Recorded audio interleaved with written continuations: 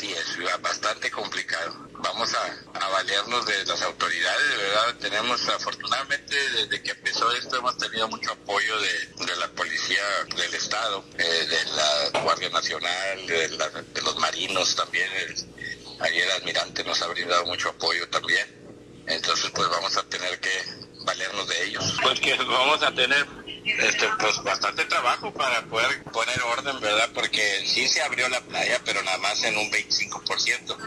Entonces, este, pues, digo, para poner orden ahí sí vamos a, a- tener que redoblar esfuerzos, ¿verdad? Para poder seguir, eh, pues, en, este, este color de semáforo, ¿verdad? Si no, pues nos vamos a, van a, van regresarnos.